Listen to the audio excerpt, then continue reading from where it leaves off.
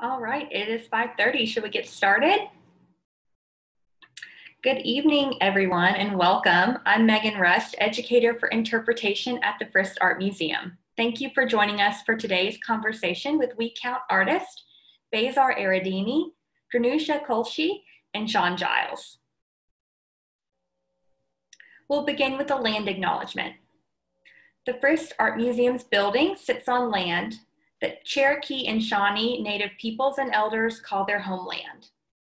We acknowledge and pay respect to them. We also acknowledge and offer deep gratitude to the ancestral land and water that support us.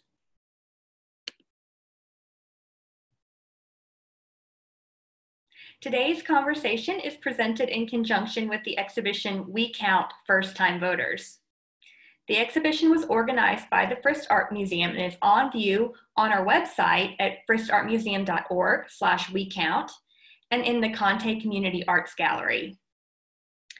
Today is also Constitution Day, commemorating the day in 1787 that delegates to the Constitutional Convention signed the document in Philadelphia.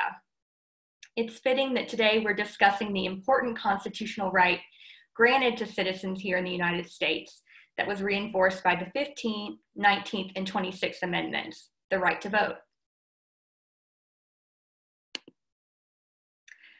The Frist Art Museum would like to thank sponsors of We Count First Time Voters, presenting sponsor HCA Foundation on behalf of HCA TriStar Health. The exhibition is supported in part by Ryman Hospitality Properties Foundation, Neal and Harwell PLC, and O'Keefe Circle members.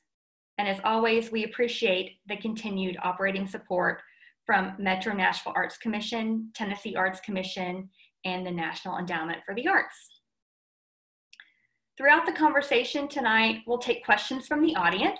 Please submit your questions via the Q&A feature anytime throughout the presentation. And thank you in advance for your patience with us as we present this program online. In the event of a technical difficulty, we'll pause the presentation and we'll work quickly to resolve the issue. If you're having technical difficulties on your personal device, please use the chat feature to send a message to Frist IT.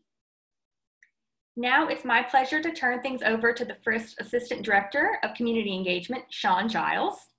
We count artists Beizar Aradini and Drenusha Kolshi. Thank you, Megan. And thanks to everyone who's joined us this evening. Um, we are thrilled to be bringing you the fourth conversation um, with the We Count artists. For uh, you all who aren't familiar with the We Count exhibition, uh, this show uh, entitled We Count, First Time Visit, uh, First Time Voters, is uh, a show of uh, five uh, local artists, each of whom was um, to go out and speak with a local person about their first time voting experience. And so with, with that conversation uh, came a lot of other wonderful facts and background and details that um, really uh, developed into a very rich and powerful exhibition. And so Beizar Aradini, is one of the five artists who participated. And uh, this evening, we are thrilled to speak with her and with Drenusha Kolshi, who is the subject of her portrait. So um, we're going to begin with uh, that conversation this evening. And uh, first, I'll just start by, uh, Beizar, I'll let you introduce yourself and then Drenusha, uh, you can introduce yourself as well. Wonderful. Thank you so much, Shaun, and thank you everyone for joining this afternoon.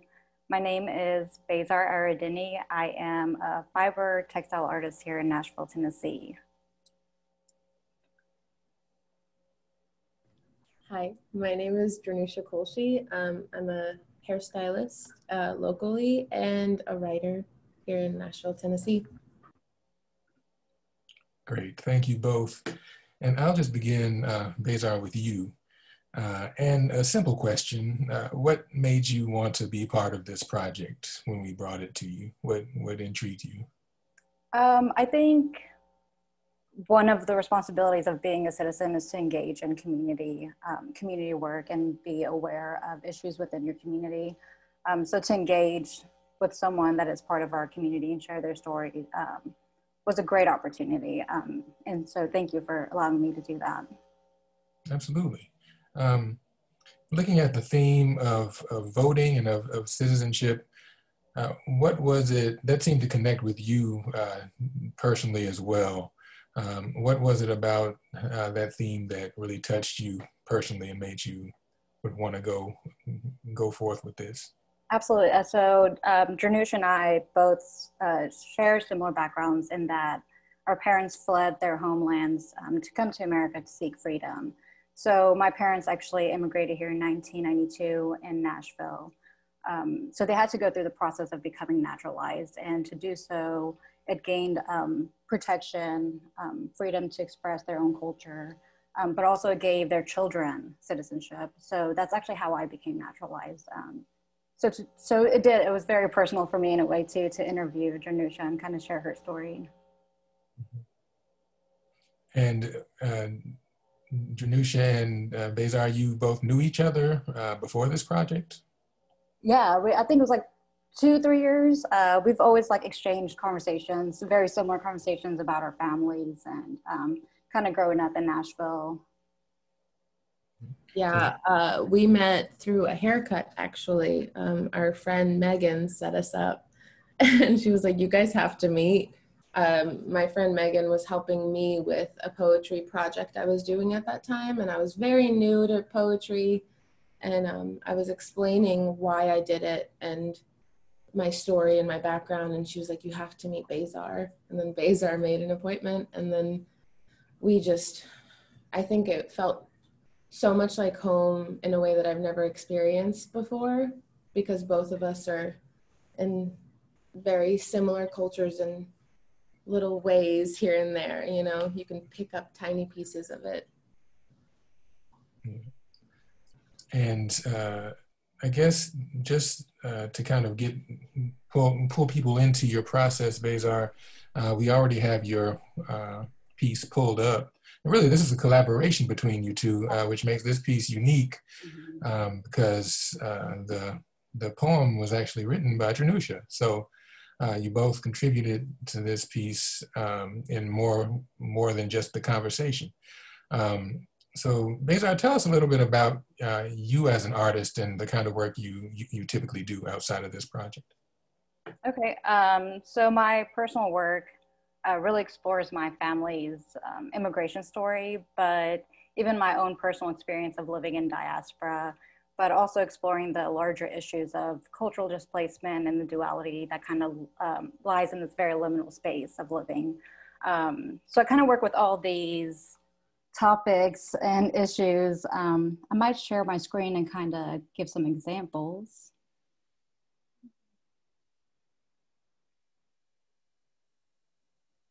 let's see. So I got into thread work, I mean, embroidery. Um, thread for me symbolizes resilience, um, strength. It's such a crucial tool to everything in life. Um, sewing is such a life skill to have. And so I started taking my family story and just embroidering simple portraits of my family coming into America, um, images of my family in the refugee camps. Um, that's where I was born. So I would take these images and just recreate them in thread. Um, truly just to unravel my own identity, trying to kind of longing for a connection to it. Um, so I would take these images and just work with them. This is an image of my mother when we first came to America. I think she's at Centennial Park. Um, she still had her traditional Kurdish clothes. Um, and then you've got this very like modern landscape in the background. Um, this is a family portrait, kind of seeing the transition of cultural clothes to more like Americanized lifestyle. Um, so then I just started moving past just my family story and thinking it back again to my own personal experiences and thinking about what were what were the means and tools of creativity for my ancestors and my family members of creating of surviving oppression. And it always went back to thread and embroidering. And so i just continued with extended family portraits and would sometimes take people out of the portraits, um, but would focus on just one or two people and kind of sew them onto this very delicate fabric um, so that they're free form. They're not tied down to any certain space. You don't know where they're at. And I just continued, and I, and I mean, this is really what I still do. I just work between two different or couple of series. And um, depending on how much my eyes and hands hurt, I, I switch off between the two series. So yeah, so honestly, it's, um, it's a lot of, uh, it's a lot of patience and a lot of um, creativity to healing as well. Um, this became a very therapeutic process for me and hopefully for those that also resonate with this um, similar story of mine. Let's share, here's a couple more.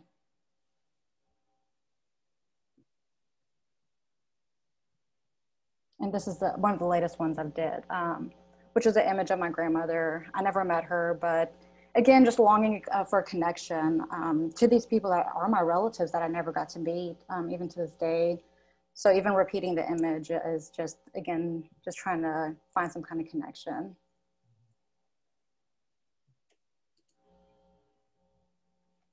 Great, thank you, Beizar. Absolutely. Um, so, Drenusha, what made you uh, interested in, in being a part of this project and sharing your story? Um, when Beizar approached me about this, um, she was like, I don't know if you're down for this, but there's this project that I'm working on, and um, I was wondering if I could, you know, do your portrait pretty much. and it started there, and I was like, of course, like the naturalization process was kind of happening at that time. I had my application in. Um, and Beizar was aware of that and we had been talking about it and I was kind of it, it was the extensive part of the application process it was a lot of the paperwork and making sure that everything's mailed in properly and it's such a st- stressful process that I felt like this was almost like a the light of all of the stress it gave me something to feel proud of in the moment almost. And i just i never thought my story was as special until i met Beizar and i would do any project she ever asks me to. I respect her so much. So that's how it started for me. And then as it progressed and as she showed me what she was working on um, she asked me to write a poem uh, and we were at her house and i was like well i actually have written a poem that is kind of going with the theme of what you're doing. And um, I kind of tweaked it a little uh, for the piece, but for the most part, I felt like this manifestation was happening where these two ideas were living and existing at the same time. And they just like found each other in that moment. And it was really special. it's really special still. Thank you. So Drenusha, um, when you all had these, uh, when you all got together to sort of talk about this, of course, you had to share uh, your story. So did you focus primarily on the uh, naturalization process that you were going through, or did you kind of give a backstory on your history and sort of how you got to where you were? Um, I think it's in a way uh, like Beizar was talking about earlier, it is the duality of it for for me. Um, I feel like with the poem, it is a repetitive saying of my native tongue um, in the English language, you know, and uh, that's like the first part of the space. Like the Albanian version is underneath that my sister translated, um, but the top is in English talking about my Albanian, like my Kosovarian experience during the war. And I feel like I that's kind of how I portrayed that duality of it both. And I feel like with this whole process, it's kind of been both of those at the same time the whole time, thinking of why I'm getting naturalized, brought me straight into those memories of what I had to do to get here. And then as I learned more about America through this process and learned, you know, the questions I had to learn in that process, it brought me even closer to understanding why I came here. And then it just felt like they were just stacking on top of each other and creating this whole understanding that I've I have I hadn't experienced until that moment. And you had actually been in the United States for some time.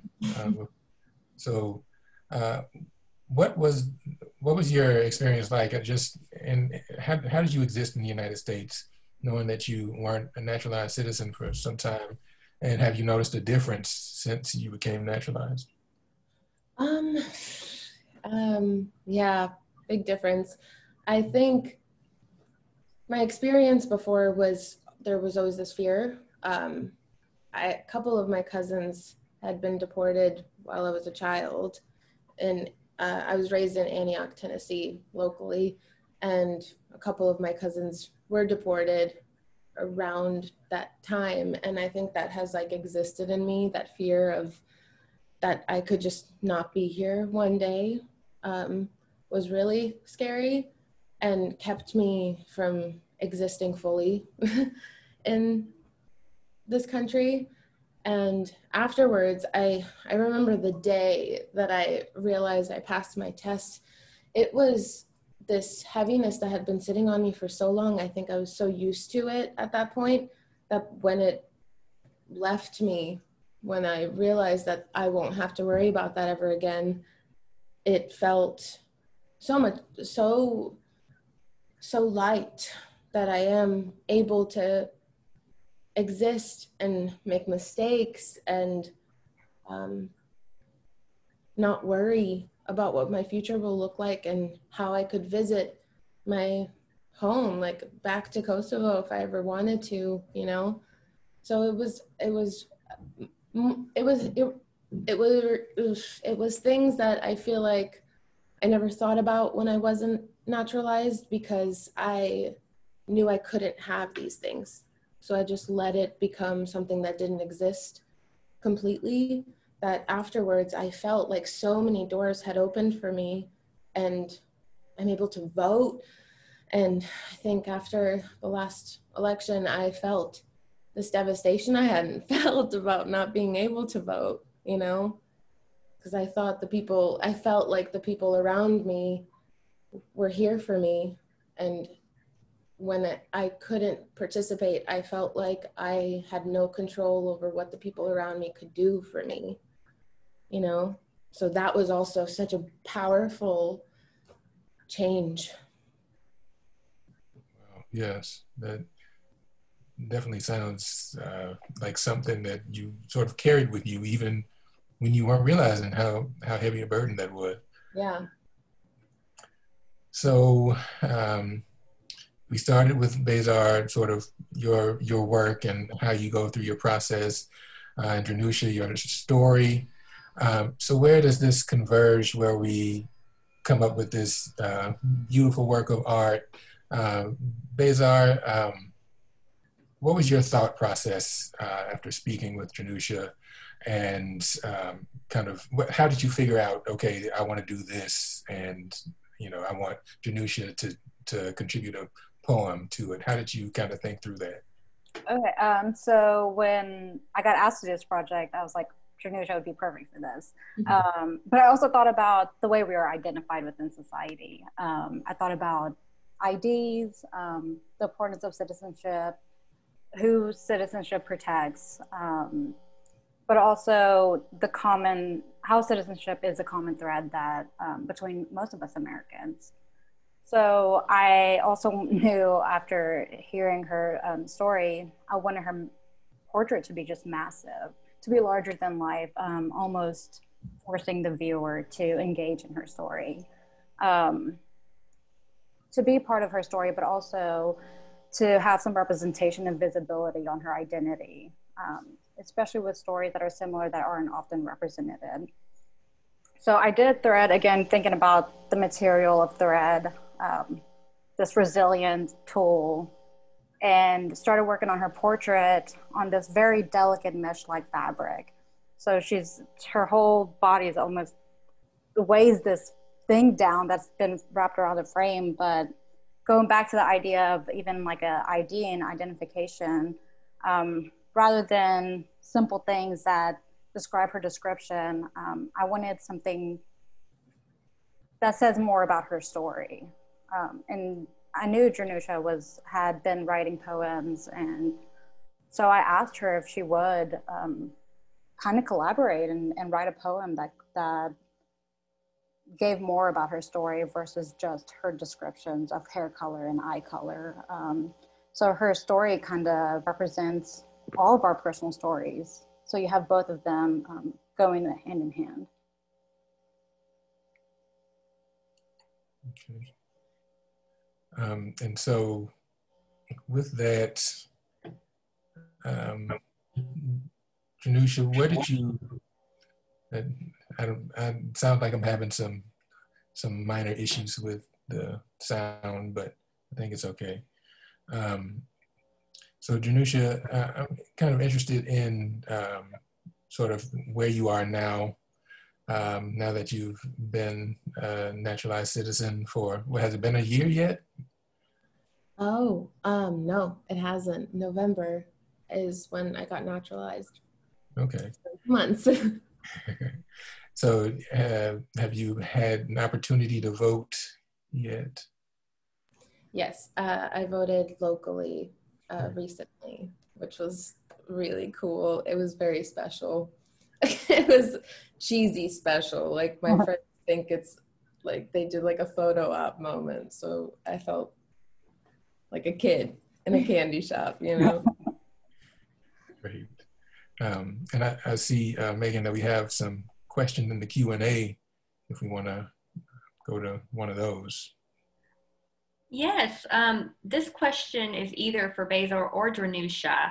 Um, the viewer writes, My question comes from my experience as someone who came to the United States as an adolescent, convinced that voting didn't matter. Um, this viewer is from Puerto Rico um, and has since changed his mind, but wants to know um, what you all could say to, to people that maybe are, um, you know, questioning whether or not um, they should vote or they're questioning their belief in the system. Um, how, how can you share, you know, from your personal experience, the importance of participating in elections? I feel like we both have a very. Yeah, I know. I was gonna Go first. so I feel like I have to have a lot of conversations with my family. I mean, a couple of them are naturalized in my family, so it's my sister, um, my brothers, and my dad and then my sister-in-laws and my mom are still not naturalized. And our culture my dad votes in kosovo. He votes for uh, politics there because he lives there most of the time. He only visits here. But i think the way that my culture understands america is that we only came here to make sure our family's safe and to make sure we have money to live and eat and have a roof over our heads. When you bring in like democracy from such a traumatized population of humans that have you know fled war or have fled a really bad circumstance or even just came here just for economic reasons strictly they just need more money then it's hard for them to understand and step away from that survival.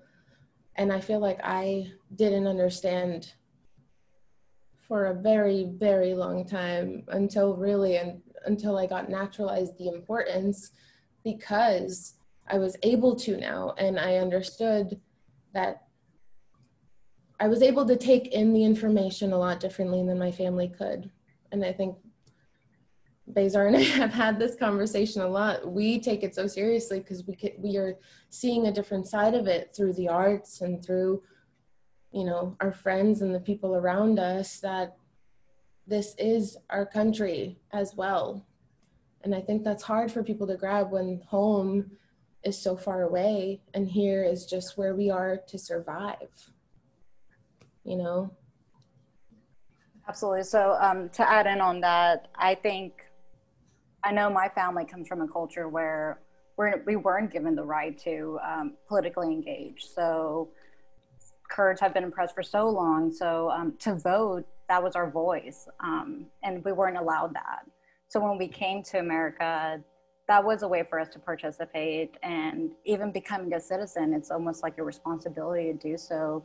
Um, and even if you're not going to do it for yourself, think about your community again. Think about the people that are in your neighborhood, um, people that don't have the chance to vote. Um, that's honestly the way I kind of see it. Is if I'm not voting for myself, I will vote for my neighbor or for someone that doesn't have the right. Um, because I knew how hard it was for my parents to get to gain that right. Um, when they became citizens, it really, really did give them recognition and um, a voice back. So I, I, think if that answered uh, the question, I think it, it, for those reasons, um, if not for yourself, I know it's easy to lose hope and democracy and and and everything that's going on but i think it's also probably one of the most important times to get involved do you think your art Beizar or your writing Drenusha plays a role in in communicating this importance I, I mean, I hope so. I, I, I, was hoping that in every way that this would kind of represent um, the stories that we aren't told, the stories that we're not familiar with, um, to engage those people too. Um, not just the familiar stories of voting, but to show that there's a process to gain this. It's not just given to anyone and everyone. Um, I know for my mother, it was like an awful experience. Um, she almost fell twice, and once you fail twice, you're not allowed to become a citizen. And so, therefore, your kids have to wait till they're 18 to gain that. Um, so it it's it, it was troubling, and and I so I guess I hope that this portrait kind of got people to get be more involved and start thinking about voting. I I feel the same way. I feel like this this whole I feel like I started poetry to heal myself. I started writing poetry to heal so many traumatic experiences that I had through you know coming to America and experiencing my family just learning a new life and I also feel like it poetry and art in general are always political and in every form because we exist in politics. We are a part of the fabric of the government and the society that we're a part of. So I feel like when artists are creating, they're creating the history that we are living in. And I feel like I've been grabbing onto that understanding in a different way, especially after this project, because it showed me the it showed me through art the importance of democracy and voting and being a part of change and evolution of our country and the world really we've got a couple other questions for for Beizar. Um, Beizar, since you normally do family portraits, do you feel like um, this portrait of Drenusha was a departure from your regular work, or did you feel like Drenusha became a part of your family in the process? Oh, she's absolutely part of my family. um, but no, absolutely not. I love doing community projects. Um, I, I, every time I've been asked to do a community project, I love doing them. I love engaging with people that are that I live close to. Um, I want to know people in my community. So um, no, it's absolutely not a departure from my own personal work. I think even the process, I always talk about how my process is sometimes more important than the artwork itself. Um, embroidery for me, like Drenusha said, it's it was a healing process. Um, it became a way for me to even slow down and to think about these things, these large ideas, and and things that I had to struggle with, um, kind of work through, through them through my process. But I wouldn't separate them, honestly. Um, I don't think it takes me away from my own personal work either. Uh, my personal work, I think it's will always be there as a healing process for myself. And um, what are the scale? What's the scale of your embroidery works? I know you mentioned that this portrait of Drenusha is larger than life, but your other pieces are they large as well, or are they on a smaller scale? They're on smaller scale. Um, I like the idea of a four by six, just like a photo, keeping them that size. Um, some of them are a little larger, but most of the very hand, smaller hand embroidered uh, portraits are four by six a follow-up question that just came in to that. How was the shift from working in smaller intimate scales to larger speed, larger pieces? And would you work large again? Uh, it was horrifying, but I did it.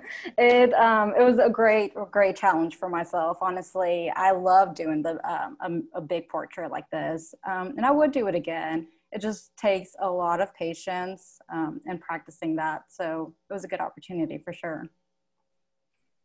So, uh, Beizar, how long did it take you to actually do this portrait? I want to say two and a half months. This is like five days a week consistent work. So, um, I, I, would take breaks because if I don't, my either my neck or my hands start hurting. But um, two and a half months, which isn't bad when you think about some paintings that take years. Well, I also wanted to ask you both um, what did you all learn through this process? Did you learn anything about uh, yourselves or each other? Um, and, you know, having known each other for some time, did this sort of uh, shed any light on anything that you didn't realize before? Um, Beizar, I'll start with you. I think um, going back to like thinking about practicing patience um, and getting involved in the community. Um, is, is are the two things I learned the most, how important those things are. Um, as far as Drenusha and I, I feel like our relationship is always growing and we're always learning new things. And um, so that's, that's there. yeah, I agree with that. I agree with that statement. Um, I feel like everything that Beizar just said, same. I, we, I feel like the whole time this was happening, it it felt like her and I just kept having moments of conversation where it was strictly about our culture, which doesn't happen very often in day to day life. And I was I felt like I was able to process a lot more, and um, also having the experience to get my sister involved and hearing a lot of her memories that she had never told me about from that time and ex- understanding that she also is a writer. She just hasn't written, you know, in a since her 20s and that was that was a lot for me to take in and was healing me because I felt like I picked up writing strictly to heal myself and then I felt like that extension was healing others and I feel like now this whole conversation and everything we're speaking about and all of the artists are also a part of that healing. So there's just i feel like i just learned the power of the arts in huge way. And did this um, i guess again a question for both of you. Have you all noticed um, sort of a response from uh, the community around you? Um, have they sort of reacted differently or um, has anything been different about them? Um, uh, Drenusha, Drenusha, I'll start with you.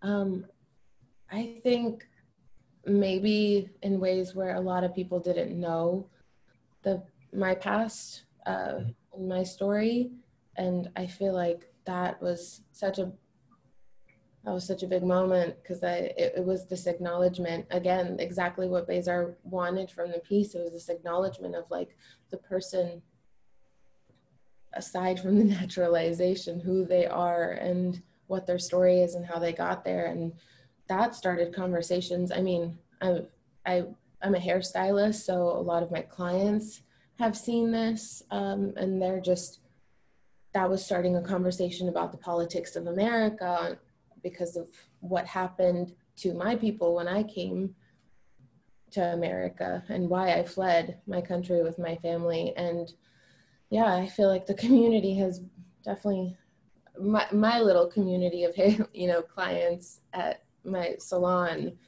has the conversations have shifted for sure uh, yeah, I would add to that. Um, as far as conversations, I've had people contacting me, telling me their stories about becoming naturalized. Um, actually, a few of them talking about becoming naturalized right before 2016. And honestly, some of the stories I heard were really sad because they would have fellow Americans be like, "Oh, why'd you become a citizen of America?" It was kind of like mocking them in a way, and to not know where we come from and the political oppression that we come from um, it's kind of just disheartening to like not validate that at all. Absolutely. Um, but yeah, but hearing more conversations of people that became uh, became naturalized. Again, I didn't I didn't go through that process myself, so it was eye opening to have people of my generation be like, "Hey, I grew up in America and I just got naturalized for this reason or that reason," but very similar reasons as to what I'm saying about coming from very extreme situations back home. Mm. And uh, see, Megan, we have some more Q&A. Yes, um, one of those questions actually just sort of expands on what you're talking about, Beizar. Um, coming from a place that's seen such oppression from people that look the same as you, how do you talk to white Americans about oppression and systemic racism? Do you include your own story as an example of how governments can commit atrocities? And that's for both you and or for Drenusha. I try to um, share my story as much as I can. Whoever asks me questions or wants to know more, I am always open um, to talk about the Kurds. Um, there, I wouldn't compare compare it. There are comparisons, but there's not any comparisons with America, American history to Kurdish history. But um, in ways our people have, and to this day, we're the largest population in the world without our own nation. There's 400 sorry, four, 40 million Kurds um, within four different countries that do not have their own nation. And so going back to having a voice, these people are living in, in areas where they participate in a government that really does not see them. Um, and in some parts, they can't even participate. Um, so I try to share my story just to get people aware of the people in Nashville. I mean, Nashville is really diverse. There's stories like mine, there's other stories. There's um, that might may be similar or not, but they're they're all very important. Yeah, I again agree with Beizar. I feel like there again the similarities that we could use of the systemic racism in America is that somebody's oppressed, you know, in some form. I think we were oppressed by a different country completely. And I think the circumstances in America that I always try to bring up again in, in my chair with my clients every time I'm at work is that I am passionate about what's happening in America, not because of what I went through and what my story is, but because there are people in this country being oppressed systemically to where it's not just fleeing war. It's not just fleeing you know bombs and you know the atrocities of war in that form. They can't the, the, the people that are oppressed in this country black people people of color um, trans people that that type of oppression is completely inside of the whole system that we need for survival. You can't, it, it's a little bit more passive. It's a lot more passive in America in a way that sometimes makes me, it doesn't allow me to really grab on to like how different it actually is because it is so hidden right in front of you and that's not what my family fled from. My family fled from very blatant war. And the the problems we face in America to this since the start to this day is it's so much deeper and it's and I'm gonna say it, it's so much more sinister than I think I I am learning to process how sinister it is compared to the blatant like bloodshed of a country versus like the un like the veiled uh, freedom that this country carries. Very powerful to think about. Um, we have a couple other questions. Um, can you all speak about the title of the work? This might tie into some of the things you said previously. My existence is political. Um, what inspired it, and how did you arrive at the title? Um, was it a collaboration between the two of you? It was a collaboration in ways. Um, we would just have these conversations, and there was a moment where we were both talking, and we were like, people will say to us, "Oh, I'm not political." Well, for us, we were born in wars, um, and even being displaced, there's struggles of living in America. So mm-hmm. it's not an option to us. It's something we have to think about almost every day. Um, so I think that kind of was the seed of the title. Yeah, for sure. It uh, it is my existence. The the ID the the title of it is just saying who you see is you as a person in general no matter who you are is political everything that we live in is political and i think that was most of the conversations between Beizar and I since the start of our friendship, since the start of this project. And I feel like it's just been an ever evolving understanding that we just do exist politically. That is that is the that is what life is for us. I see we have a couple more Q and A, so we can go ahead with those. Um, uh, just one more. I think it's more of a, a comment and okay. than a question, but um, Anne, who's the director of the education at, at, the Frist, says it's really brave of, of both of you to speak out um, and also to create your artwork. Um, Thank you, Anne. um, this might be switching gears completely, but maybe that's that's okay. Um, we've had a question about the jewelry that you wear, Drenusha. oh, I love this. um, yeah, I wear a lot of gold, and it's strictly family heirlooms. All of the pieces that I, all of the pieces of jewelry I have on, are from my mom or my dad or my sister. Um, and they're all from different times of their lives. I wear them to remind myself what I'm here for and who I'm here for, and that no I really started wearing them because it's my mom's, but and my dad's. But I think as time went on, I realized it was such a healing process to like hold them with me no matter where I go. I was in New Orleans at the beginning of the year and I wrote a poem about my hand necklace. And it was about how the red stone in the middle is my mom. And she's alive and well but she is also not able to drive doesn't speak english hasn't seen anything but anywhere really except for new york and tennessee you know? So i feel like as i move around the world i and as I heal myself, I'm also healing my family. And it's just a constant reminder that that's what I'm doing. But thanks for that question. that was cool.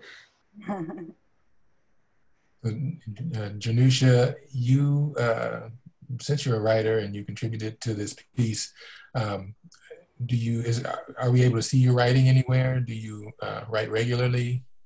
Um, I write regularly. I have been working on a series of poems um, under a woman's hymn. It's on Instagram. You can find it. It's a woman's hymn, H Y M N. Um, I haven't been keeping up with that because, well, my mental capacity is a lot uh, full lately than usual. So I mostly just journal now, but there are, you could see the whole process of how a woman's hymn has healed me because I started that account strictly to like keep hold myself accountable to writing for my healing.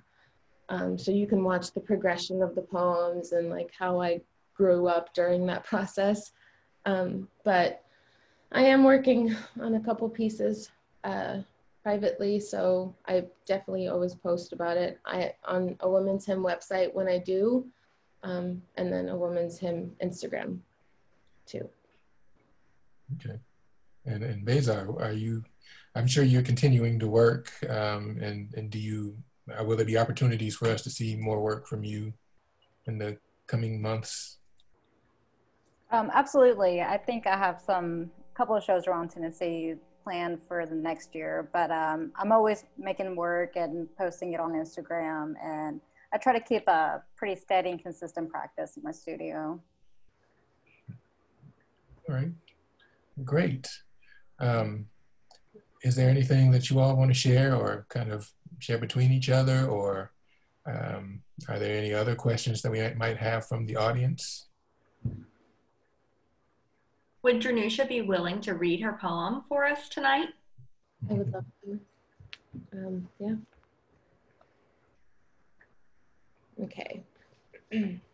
this is my existence is political. It is part of, you know, this. okay. My native tongue is wax dripping, fear bubbling to the surface, never spilling over. My native tongue is bitten into, an open wound gushing what could have been if the war had not erupted. My native tongue is currency over lives. 50 marca in a child's pocket just in case a man in a paramilitary uniform needs a fixin'. My native tongue is here nor there, lost in translation. Um, that, that poem is the duality of, again, the English language and also having a native tongue and being a part of that. I was trying to explain it to my friend earlier why it why it came to me and that is a that whole scenario is the ripple effect of my mother deciding to leave our homeland. Um, it was one night in particular, a lot of our family and friends have had already fled, and we stayed a little longer because my mom didn't know what to do because my father lived in America at that time. Um, and my we lived in a an apartment complex in Pristina, which is the capital, the city of Kosovo. Um, and my sister was looking down from the balcony and sees there were a lot of paramilitary officers and all of that. They were there were people that were not with the government but were there to cause violence. And my sister looked down and she sees a man in a paramilitary uniform um, doing really horrible things and went to my mom in that moment and she said, We can't stay here any longer. She was 17 or 18 at that time. She's like, We have to go. So my mom took marca is what we used for currency at that time. Um, and my mom put almost like 50 euros in each of the children's pockets but mine and packed blankets and that's it just blankets and my grandparents and my siblings and my mom and I fled our apartment. And um, through word of mouth, we knew to go to Macedonia, and we just went to the train and kept going after that. Wow. So that's kind of where the lost in translation comes in. It just, that was the end of it. It was just that very small choice and the actions after it changed our whole understanding of life and you were you were still too young to remember that or was that relayed to you as a story or i remember that experience a little bit but i do remember the train and the process of coming here um, and i was uh, separated from my mom and my siblings me and my grandparents had to go first because the children and the elders would go first. Um, so we weren't allowed to stay together. And it was about a month of us not knowing where we were. Um, they had radio signals up at radio channels at that time that would just say out names on there to for people to find each other because so many people had been displaced and lost and you know fled into the mountains to not be seen for as long as they can. Thank you so much for sharing the, the, the, that detail. Um, so it's amazing how uh, our experiences inform our art in such a way um, and i see uh, another question Looks like this is, yeah, yeah, there's one more. Um, this one is uh, a request to uh, read the poem in your native language, Drenusha. I can definitely try. Um, I have a bit of an accent, but hopefully you guys can't tell. Let me see if I can find it. I mean, I could try to read it from there, but Mm-hmm.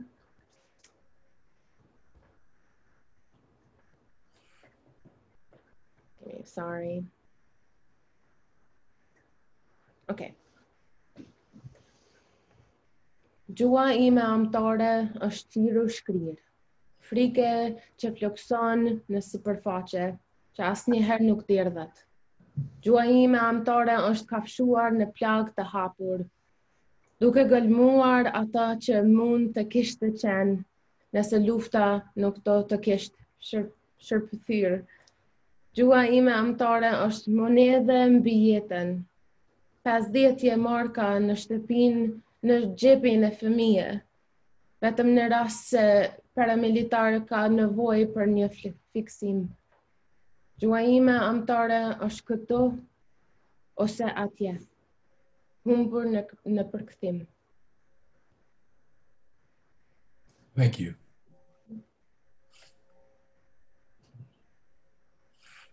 Well, uh, Megan, I can turn it back over to you. Um,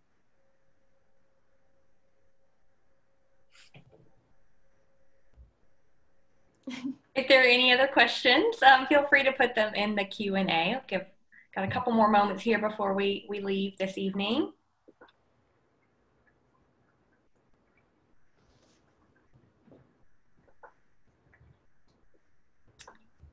All right, well, thank you so much for um, attending the program tonight. Thank you, Beizar. Thank you, Drenusha, and thank you, Shaun. Um, this was such a thought-provoking and amazing experience to hear both of your stories this evening and, and hear how you've shared them through this artwork and We Count First Time Voters. We invite you to see the exhibition at the Frist Art Museum. You can reserve your timed ticket for admission to the museum at fristartmuseum.org. And the first is only $5 right now through October 8th. Um, you can also visit the Conte Community Arts Gallery for free. So we hope you'll come um, and see it, the show in person, or we hope to see you virtually at our next online program. You can find out more about upcoming virtual programs by visiting our website, by following us on social media at Frist Art Museum, or by signing up for our weekly email newsletter. And as you leave the Zoom tonight, a link for a survey will appear in your browser. Um, your feedback is very important to us and will help us improve future programs. So we appreciate it if you take a few moments to fill that out. And we are so thankful for your support of the Frist Art Museum. Financial gifts during this time allow us to bring you great programming like tonight's event. Um, support of any amount is greatly appreciated. Please consider making a donation at fristartmuseum.org. Thanks again, everyone, and I hope you have a great night. Thank you all. Uh, thanks, Drenusha and Beizar as well. Thank you. Thank you both. Thank you so much, everyone. Bye. Bye.